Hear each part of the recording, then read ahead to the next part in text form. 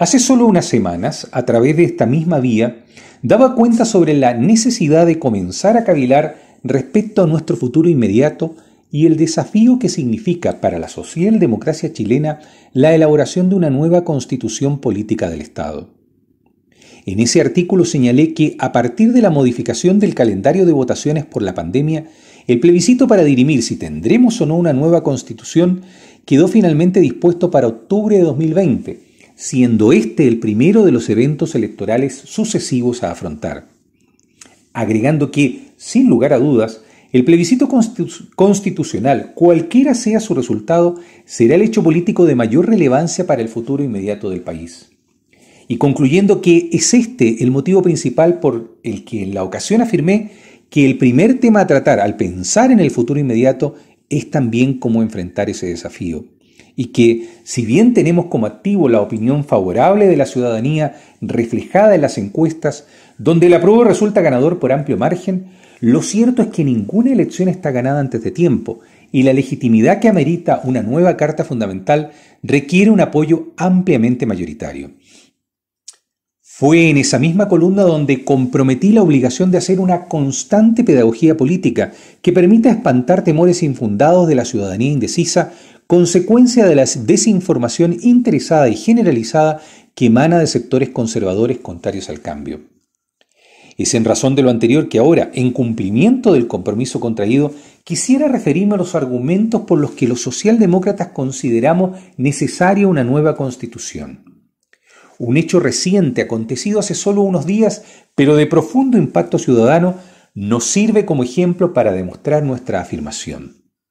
A saber,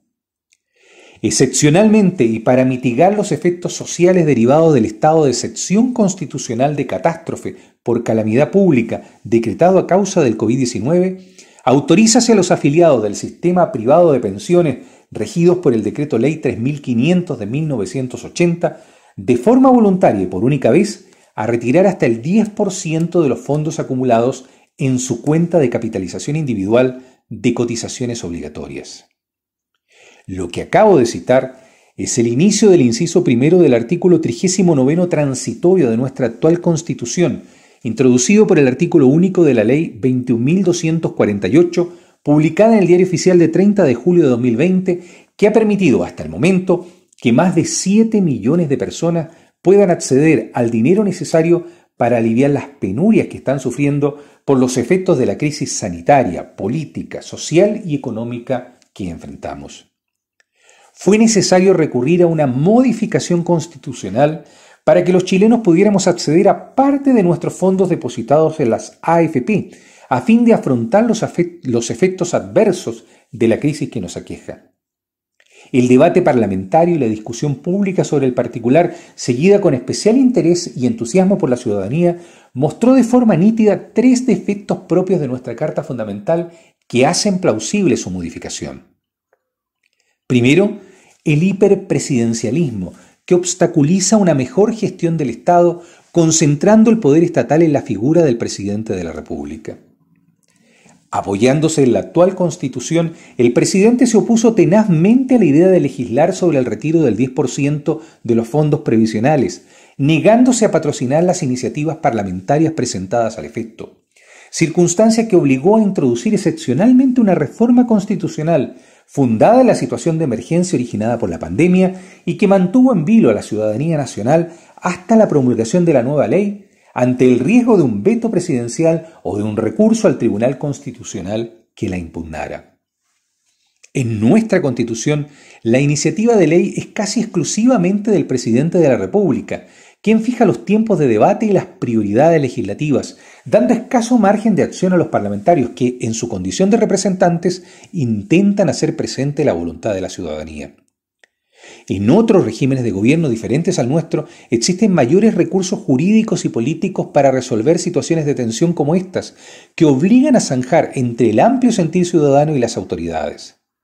Es más, en varias constituciones modernas se contemplan hoy fórmulas de democracia directa para resolver cuestiones claves, donde instrumentos como el referéndum, los plebiscitos o las iniciativas populares de ley son más comunes que antaño, permitiendo así a los ciudadanos una activa participación sin intermediarios al momento de adoptar decisiones esenciales. Segundo, los altos quórum legislativos que ponen en aprietos y entredichos cualquier manifestación de mayoría. El hiperpresidencialismo no es el único defecto que presenta nuestra actual Carta Fundamental, pues en una pretensión deliberada de quienes instauraron la Constitución durante la dictadura militar para impedir cualquier reforma, muchas materias relevantes requieren de amplios quórums para su aprobación, dificultando o entorpeciendo así la utilización de la regla democrática básica de la mayoría.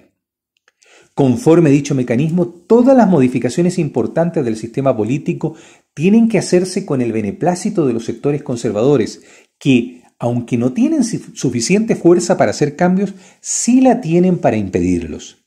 El retiro del 10% de los fondos previsionales fue uno de esos casos, donde la discusión sobre si el quórum para aprobarlo debía ser de dos tercios o tres quintos de los legisladores que integran la Cámara de Diputados entrampó en su origen la discusión de fondo, retrasando un debate urgente como lo demuestran las más de 7 millones de solicitudes de retiro presentadas a la fecha. Y tercero, no obstante lo anterior, el defecto más relevante de nuestra actual Carta Fundamental es el de la crisis de sus principios inspiradores, la libre competencia y el individualismo, con un rol subsidiario del Estado ante la iniciativa privada. La actual Constitución no garantiza derechos, sino que privilegia la libertad de quienes proveen servicios y la de quienes pueden pagarlos. Así, por ejemplo, nuestra Carta Fundamental consagra la libertad de enseñanza, pero no el derecho a la educación. La Constitución vigente entonces contiene ideas matrices absolutamente divergentes con el sentir ciudadano imperante, el que se encuentra en armonía con la experiencia práctica forjada a partir de la pandemia de COVID-19, que ha hecho patente una imperiosa necesidad de contar con un Estado proactivo, no solo en materia de salud pública, sino también en cuestiones de protección social y desarrollo económico. Toda constitución cumple un rol primordial en la sociedad, determinando las reglas básicas de gobierno, al establecer los límites al ejercicio del poder y reglamentar el margen de acción de cada órgano del Estado. Pero también Toda constitución debe cumplir con el difícil cometido de ser el reflejo del palpitar ciudadano, de estar en consonancia con el sentir de las mayorías. Ello porque en tanto norma suprema y fundacional, la constitución sienta las bases de la democracia. Y que el gobierno del pueblo, por el pueblo y para el pueblo, no desaparecerá de la tierra, hasta hoy la definición más precisa y sucinta de democracia, contenida en las palabras finales de un histórico discurso de Abraham Lincoln, confirma que, para su consagración, la legislación elemental que significa la constitución política del Estado debe estar en concordancia con el sentir de las mayorías ciudadanas. Solo así podremos aspirar legítimamente a un gobierno del pueblo, por el pueblo y para el pueblo, o sea, a una verdadera democracia.